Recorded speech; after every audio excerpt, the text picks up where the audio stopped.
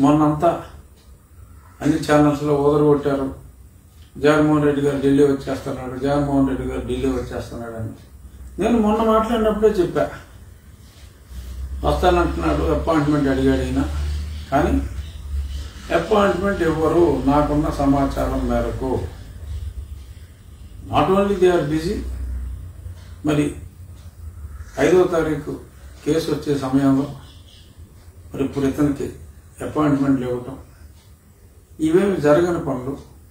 గతం గత అతనికి అపాయింట్మెంట్ వచ్చినాయి కానీ ఇప్పుడు కష్టం. అపాయింట్మెంట్లు రావు అని చెప్పి అనుకున్నట్టే. ఇంకా రాలేదుగా? ఇంకా ఫిక్స్ కూడా కాలేదు. ఇంకా ఫిక్స్ కూడా కాలేదు. అది కాదనే నేను అనుకుంటున్నా. ఈ పార్లమెంట్ సమావేశాలు అయ్యేదాకా. ఆ తర్వాత అయినా ఇంక ఎన్నికలు కూడా వచ్చిన తర్వాత. ఈయన టైం ఇవ్వటం అసలు మంచిది కాదు. సో కాబట్టి కంఠశోష ఏదో వచ్చి మరి వ్యక్తిగత బెనిఫిట్స్ కోసం మళ్ళీ ఏదో స్పెషల్ స్టాటస్ అది ఇది రైల్వే జోన్ రైల్వే జోన్ అంటే గుర్తొచ్చింది. మరి మంత్రి గారు ఎవరు కూడా పత్రికా సమావేశంలో చెప్పారు. నాకు అంత ముందే కూడా చెప్పారు కలిసినప్పుడు. మేము రెడీగా ఉన్నాం. స్థలం ఇవ్వమన్నాం. ఆ స్థలం ఇవ్వట్లేదు.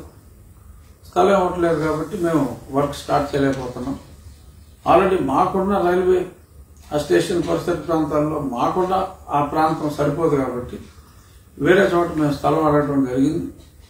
They're not at all interested to give the land ఆ స్థలం ఎప్పుడిస్తే అప్పుడు మేము పని మొదలు పెట్టగలవారం అని చెప్పి ఆయన వాళ్ళ మీడియా ముఖంగా కూడా చెప్పారు. సో దీన్ని బట్టి మీరు ఆలోచించండి. మన రాష్ట్రానికి ఈ వ్యక్తి వల్ల జరిగిన డ్యామేజ్ ఎంత? ఊరికే పైకి విభజన సమస్యల కోసం వచ్చాం. రైల్వే జోన్ కోసం వచ్చాం. అంత క్లియర్గా మంత్రి గారు చెప్పిన తర్వాత ఇవ్వాలి కదా మరి ఒక మూడు వేల పదివేల నూట యాభై ఎకరాలు ఒకరికి పదివేల యాభై ఎకరాలు ఒకరికి అంటే ఇరవై వేల చిల్లర ఎకరాలు రెండు కంపెనీలకి మరి అలాట్ చేశారు. ఇప్పుడు సోలార్ కంపెనీలని అయ్యని అని అన్ని ఇరవై నమ్మేలు అంటే మనకు తెలియదు అనుకోండి. బట్ అన్నేసి అన్నేసి వేల వేల ఎకరాలు ఇచ్చేస్తూ ఆ రైల్వే జోన్ పెట్టడం కోసం యాభై మూడు ఎకరాలు అంతే. యాభై మూడు ఎకరాలు ఇరవై వేల ఎకరాలు ఇచ్చారు. యాభై మూడు ఎకరాలు ఇవ్వలేవు? జగన్మోహన్ రెడ్డి గారు. సో ఒక మంచి పర్పస్ కోసం ఒక జోన్ అక్కడికి వచ్చిందంటే ఎన్నో ఉద్యోగాలు వస్తాయి. ఎంతో అడ్వాంటేజ్ వస్తుందనే కదా. మరి గతం నుంచి మనం పోరాడుతున్నాం. వేల వేల ఎకరాలు తినేశారు కదా బాబు విశాఖపట్నం మీ పాలిగాలు అందరూ కలిసి యాభై మూడు ఎకరాలు సో అదేమన్నా కొండలు పగలు కొట్టి ఋషికొండలు ఉండగా చేసి ఇమ్మన్నారా? కాదే. ఏదో కొంచెం. అమృత్సర్లో ఆ ప్రాంతంలో అడిగారు. ఈజీగా ఇవ్వచ్చు. సరే కొత్త ప్రభుత్వం వచ్చాక మేము ఇస్తాం అనుకోండి అది వేరే విషయం. కానీ అంటే చిత్తశుద్ధి లేని శివ పూజలు ఏలయా? జగన్మోహన్ అని చెప్పి అడగాలనిపిస్తుంది సో ఇక్కడికి వచ్చి మాట్లాడేది ఒకటి చేసేది ఒకటి. సో రైల్వే జోన్ విషయంలో చూసాం నిన్నే మరి క్యాబినెట్ క్లియర్ చేసింది ఇరవై వేల ఒక రెండు వందల ఎకరం రెండు పరిశ్రమలకు ఇవ్వటానికి. ఇప్పుడు మంత్రి గారు యాభై మూడు ఎకరాలు లేదన్నారు. దురదృష్టం. మాట్లాడేది ఒకటి చేసేది ఒకటి. సో ఏది ఏమైనా? ఆయనకి అపాయింట్మెంట్ రాకపోవటం అదృష్టం.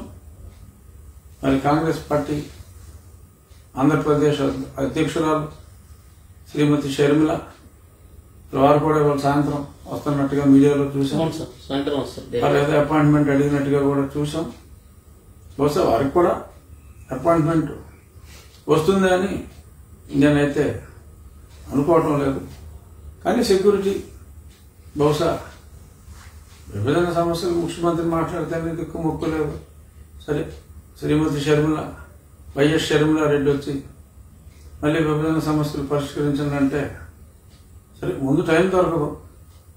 సో కాబట్టి ఏమడుగుతారన్నదే ఇంకా మనం దాని గురించి చర్చించుకోకల్లా కానీ డెఫినెట్గా హోమ్ మినిస్టర్ గారిని ఇంతకుముందు మనం మాట్లాడుకున్నట్టు హోమ్ మినిస్టర్ గారిని కలిసి మరి సెక్యూరిటీ ప్రొవైడ్ చేయమని అడగవలసిన అవసరం ఉంది. ఇవాళ మార్నింగ్ పేపర్లో చూసా షరీంలకు ఉన్న సెక్యూరిటీని కూడా కుటుంబ సభ్యురాలుగా ఉన్న సెక్యూరిటీని కూడా బాగా కుదించినట్టుగా అనిల్కైతే తీసేశారు ఆ ముందే. ఈవిడికి శ్రీమతి వైఎస్ షర్మిలారెడ్డి ఇక్కడ అన్న ఆవిడకి. మరి వెంటనే అలా అన్న వెంటనే మరి సెక్యూరిటీ పెంచండిరా బాబు అని మేము అడుగుతా ఉంటే ఉన్నదే తగ్గించేశారు జగన్మోహన్ రెడ్డి గారు. ఇది చాలా ఆశ్చర్యకరంగా అనిపిస్తుంది. చూద్దాం. మరి కనీసం తన సొంత సహోదరికి కూడా వారి కుటుంబ సభ్యులకి ఆరు వందల మందిని ట్రైనింగ్ ఇచ్చి పెట్టుకుని తోడబుట్టిన చెల్లెల కోసం ఆ మాత్రం ఉన్నదే స్కెలిటన్ సెక్యూరిటీ దాన్ని కూడా తగ్గించేయటం. దురదృష్టం అంతకంటే మనం ఏం చెప్పుకుంటాం? మహిళలకు జగన్మోహన్ రెడ్డి గారు ఇచ్చే గౌరవం ఇదేనా అని చెప్పి మహిళలందరూ కూడా ప్రశ్నించుకోవాల్సిన సమయం ఆసన్నమైంది. చూద్దాం ఏం చేస్తారు. సార్ మీ పార్టీలో అంటే మీ ప్రస్తుత ముఖ్యమంత్రి గారు పార్టీ అధ్యక్షుడు కూడా ఆయన మొన్న అంతకుముందు కొంతమందికి ఎమ్మెల్యేలు ఇచ్చారు తిరిగి మళ్ళీ వాళ్ళని ఎంపీలు చేశారు. గురుమూర్తిని కూడా మొన్న అంతమందికి ఎంపీ ఇచ్చారు ఇప్పుడు ఆయన అంతమందికి ఎమ్మెల్యే ఇచ్చారు మళ్ళీ ఇప్పుడు ఎంపీ ఇచ్చారు. మళ్ళీ కన్ఫ్యూజ్ క్రియేట్ ఉన్న దాంట్లో సగం మంది పోతున్నారు ఎందుకు ఈ కన్ఫ్యూజ్ ఇది మ్యూజికల్ చైర్స్ అసలు గతంలో ఎన్నడూ చూడని విచిత్రమైన పరిస్థితిని చూస్తున్నాం. ఆ గురుమూర్తి గారిని తీసుకెళ్ళి ఎమ్మెల్యే చేసి సత్యవేడ ఎమ్మెల్యే గారిని కోనేటి ఆదిమూలం గారిని తిరుపతి ఎంపీ ఇస్తే నాకొద్దు ఈ ఎంపీ నాకు ఎమ్మెల్యే కావాలి అని చెప్పి మరి ఆయన ఎంపీ పోస్టుని తిరస్కరించి మరి ఆయన లోకేష్ గారిని కలిసి పార్టీ వీడే పనిలో ఉన్నారని చెప్పి చూసాం. ఇలా ఎన్నో అసలు ఇక్కడ అక్కడ అక్కడ దగ్గర ఎక్కడో చిత్తూరులో ఉండే శివరెడ్డి గారిని తీసుకొచ్చి ఒంగోలులో వేశారు. ఆ పక్కన ఉన్న నెల్లూరు నుంచి తీసుకొచ్చి యువతల నరసరావుపేటలో వేశారు. నెల్లూరు పక్కనే వద్దు ఒంగోలు. చిత్తూరు పక్కనే వద్దు నెల్లూరు. అలా కాదు. ఎక్కడెక్కడ ఉన్నో తీసుకెళ్ళి ఎక్కడెక్కడ వేయటం క్యాండిడేట్లు దొరకకపోవటం మరి చూస్తే మరి నా దగ్గర కూడా ఇప్పుడు దాకా వాళ్ళ క్యాండిడేట్ దొరకలా. రోజుకో పేరు. ఒక రోజు గోకరాజు గంగరాజు గారు ఇంకో రోజు గోకరాజు గంగరాజు గారు సారీ రంగరాజు గారు ఇంకో రోజు రంగరాజు గారు చిన్న అన్న సరే వారు ఒప్పుకోలేదు నా బంధువులు. కాదన్నారు.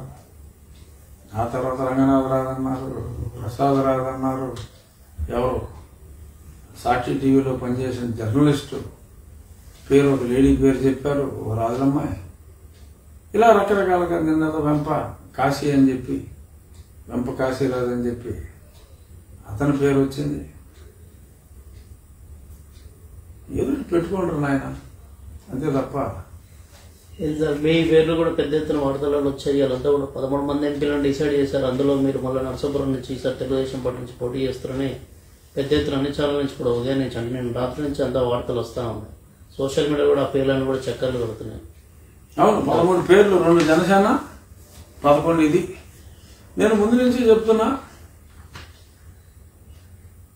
ఇప్పటి నుంచో జనసేన తెలుగుదేశం కలవక ముందు నుంచి జనసేన తెలుగుదేశం భారతీయ జనతా పార్టీ కూడా తప్పకుండా కలుస్తుంది అని చెప్పి కూటమి అభ్యర్థిగా నేను ఉంటానని చెప్పి అట్లీస్ట్ టూ ఇయర్స్ నుంచి చెప్తున్నాను కనీసం.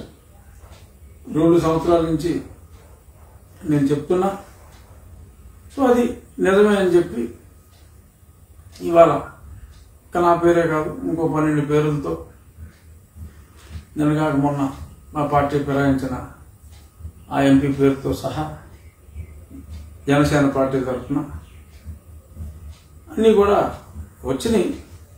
మొన్నటిదాకా వైసీపీ సోషల్ మీడియా వాళ్ళు రఘురామకృష్ణరాజు సీట్ ఎవరు అని ఇలా చాలా రాసుకున్నారు. వారికి తెలుగుదేశంలో సీట్ లేదు జనసేనలో సీట్ లేదు. నేను అప్పుడే చెప్పా ఒరే వాళ్ళ నువ్వు నా మీద క్యాండిడేట్ని రెడీ చేసుకునిరా. కూటమి తరపున నేనే పోటీ చేస్తున్నాను అని చెప్పి చెప్పా. ఇప్పుడు మరి ఎప్పుడైతే మరి పేపర్లో మరి వచ్చిన ఆ పేపర్లో వచ్చిందంటే మరి దాని అథెంటిసిటీ అది ఎంత నిక్కచ్చిగా ఉంటుందనేది అందరికీ తెలిసిందే. సో దాంతో వీళ్ళకి ఏడుపు ఒకటే తక్కువ. కాలకేయులకి వైసీపీ కాలకేయులకి ఏడుపోవటే తక్కువ. వాళ్ళకి ఏం మాట్లాడాలో ఏం అర్థం కావట్లేదు. సరే మరి ఈ ఒకటి రెండు రోజుల్లో మరి నా మీద ఏదన్నా మరి క్యాండిడేట్ని ఎవరినైనా వెతికి వెతికి వెతికి వెతికి వెతికి తెస్తారేమో చూద్దాం. నేనైతే వారికి అద్వితీయమైన ప్రజల సంపూర్ణ మద్దతుతో నా నియోజకవర్గంలోని తెలుగుదేశం జనతా జనసేన పార్టీ అభిమానుల బలంతో అలాగే నన్ను అభిమానించే వారి బలంతో ఒక అద్వితీయమైన విజయాన్ని కూటమికి ఒక మరిచిపోలేని పరాభవాన్ని యువజన శ్రామిక రైతు కాంగ్రెస్ పార్టీకి అందించాలని కొత్త నిశ్చయంతో ఉన్నామమ్మ జగన్మోహన్ రెడ్డి గారు అండ్ కంపెనీ. రెడీ చేసుకోండి ఎవరిని పెడతారో? రెడీ చేసుకోండి. దిక్కుమాలిన మాటలు పనికిరాని మాటలు. బాగొద్దని చెప్పి మీడియా ముఖంగా వారికి విన్నవించుకుంటున్నా. ఇక ఏమున్నాయి? నన్ను అడగాల్సిన ప్రశ్నలు ఏమన్నాయి సో జగన్ గారు మొన్నటి వరకు ఏమో ఢిల్లీ వస్తారన్నారు. ఇప్పుడు సడన్గా ప్రయత్నాలు ఆగిపోయినాయి. ఐదో. తారీఖు ఏమో కేసు దగ్గర పడుతుంది. అంటే వివాదాలను. చుట్టుముడుతున్నట్ట. ఎక్కడ అపాయింట్మెంట్ లేదు. రేపు కూడా రాదు. మూడు నాలుగు శని ఆదివారాలు టైం ఎవరు? ఎవరు? ఐదో తారీఖు కేసు వచ్చేస్తుంది. సునీత కేసు. సో మరి ఆ రోజు డెఫినెట్గా మరి హీరింగ్ తీసుకుని ఏం జరుగుతుందో చూడాలి. మరి వీళ్ళైతే ఏ జడ్జి గారి ఇంట్లో పెళ్ళైనా బ్యాండ్ మేళం వేసుకుని బ్యాండ్ మేళం కాదు సారీ తిరుపతి పూజారులను తీసుకుని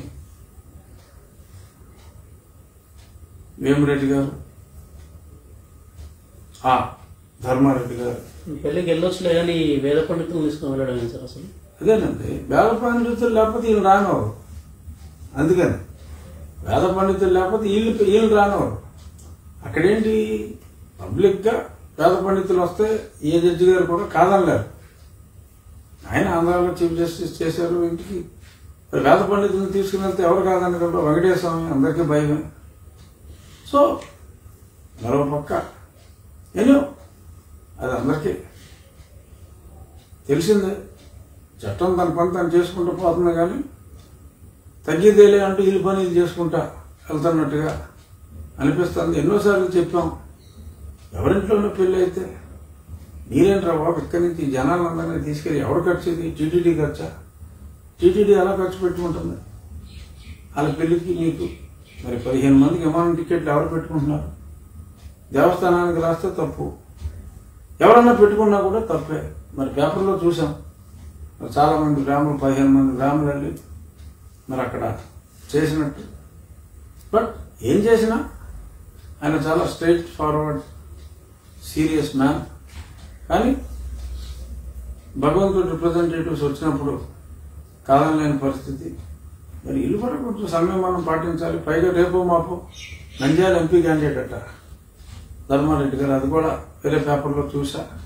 పేరు రాయకుండా టీటీడీలో ప్రముఖ అధికారి నంద్యాల ఆయన నేటివ్ నంద్యాల పార్లమెంట్లో ఆయన విలేజ్ వస్తుంది. మరి ఆయన పోటీ చేస్తారని అంటున్నారు. మంచిది.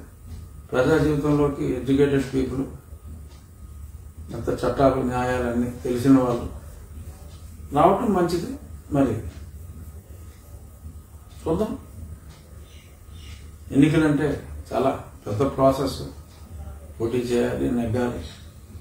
అధికారం ఒకటి. మరి ప్రజల నుంచి మరి వారి మన్ననలు పొందాలి అంటే ఇదివరకు ఉన్నంత గాలి ఉండదు కాబట్టి యాంటీ గాలి కూడా ఉంటుంది కాబట్టి. తెలియవు ఆయన నేను స్నేహితులు. ఆల్ ది బెస్ట్ ధర్మారెడ్డి గారు మీరు.